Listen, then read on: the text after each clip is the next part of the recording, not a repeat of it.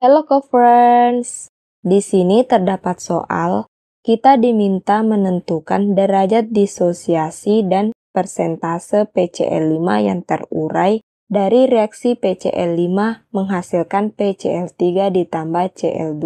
Jika dari soal diketahui, mol mula-mula PCl5 sama dengan 0,3 mol. Mol PCl3 setelah terjadi kesetimbangan sama dengan 0,2 mol.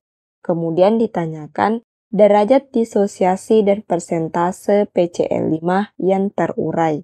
Untuk menyelesaikan soal ini, kita menggunakan sistem MRS, yaitu PCl5 menghasilkan PCl3 ditambah Cl2.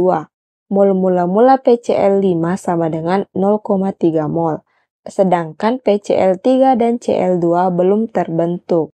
Pada saat terjadi kesetimbangan, mol PCl3 sama dengan 0,2 mol. Jadi, mol bereaksi PCl3 sama dengan 0,2 mol. Karena koefisien PCl3 sama dengan koefisien Cl2 dan PCl5, maka mol bereaksi PCl5 dan mol bereaksi Cl2 sama dengan 0,2 mol. Jadi, mol setimbang PCl5 sama dengan 0,3 mol dikurang 0,2 mol sama dengan 0,1 mol. Dan mol setimbang Cl2 sama dengan 0,2 mol.